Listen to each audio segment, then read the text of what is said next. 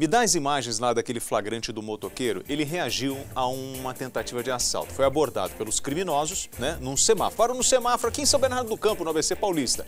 O motorista que testemunhou a tentativa de assalto gravou tudo e mandou pra gente essa a gente conseguiu essas imagens. Os moradores e pedestres estão denunciando muita violência no local, dizendo: olha, aqui é muito, muito, muito, muito difícil, tem muitos assaltos, cobra das autoridades. Você vai ver o desfecho agora na reportagem especial aqui no São Paulo no ar. Tá prontinha a reportagem? Então, roda aí o flagrante aí da tentativa de assalto e a resistência do motorista que entrou em luta corporal. No vídeo, o motociclista aparece lutando com os dois assaltantes. Os bandidos queriam levar a moto da vítima, que acabou reagindo. Motoristas que também estavam parados no semáforo descem para ajudar. A confusão termina com a fuga dos bandidos, criminosos que seriam conhecidos na área. Esse moleque é daqui, parça. O moleque é tudo daqui, ó. Eu filmei tudo aqui. O homem que estava na moto esperava o farol abrir quando foi abordado pelos assaltantes. No carro ao lado estava esta produtora de eventos.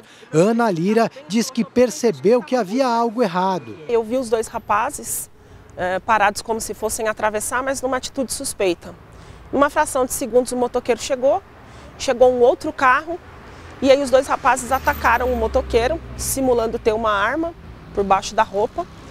Ela diz que só decidiu reagir quando percebeu que os bandidos estavam desarmados. Só acho que o motoqueiro ele deve ter depois, depois a gente para para pensar, mas na hora ele pensou só em se proteger e se defender. Foi onde ele agarrou um dos rapazes e, e conseguiu impedir que eles eh, continuassem é, tentando montar na moto. E assim, a fuga dos meninos eu não sei também porque eu dei um blefe, né? Eu gritei, eu tô armada e acabei empurrando e fui para cima de um deles, empurrei. E eu acho que eles ficaram com medo, de repente poderiam ter achado que eu era um policial paisana. A esquina onde tudo aconteceu fica em uma área bem movimentada do bairro, cercada por estabelecimentos comerciais. Apesar disso, moradores e comerciantes evitam se manifestar publicamente sobre a questão da violência.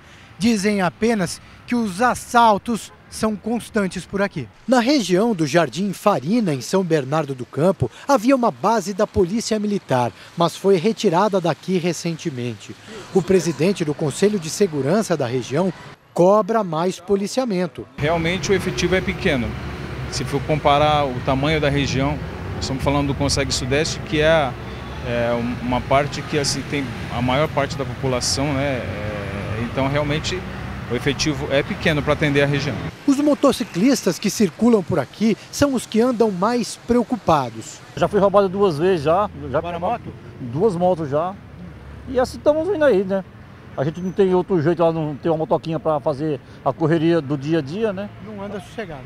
É, não anda não, com certeza. Rafael costuma parar dessa forma quando o sinal fica vermelho que você parou até meio de lá. É, porque a gente fica olhando para trás, se vê, qualquer coisa você já sai já.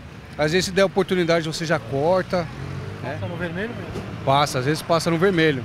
É, a segurança, né, tá, tá difícil. Mas os pedestres também são alvos dos bandidos. Sábado mesmo eu fui assaltada. Eu tava andando, aí o cara chegou, me fechou com a moto e tudo. Tudo meu. Principalmente esse farol que demora muito, cruzamentos e tudo. Pode rodar por aqui? Perigoso, dependendo do horário, de madrugada, tudo. A Ana Lira, que ajudou o motociclista na tentativa de assalto, já foi vítima de assaltantes. Ainda tem marcas dos disparos que a atingiram. Ela sabe do perigo de enfrentar bandidos em caso de assalto e explica que dessa vez foi uma reação espontânea. Eu reagi porque eu estou cansada de sair de casa com medo todos os dias sem saber se eu vou voltar. Eu me despeço da minha família de manhã e volto para casa na sorte. Olha, a Polícia Civil informa que não houve registro da ocorrência que foi flagrada e mostrada na reportagem.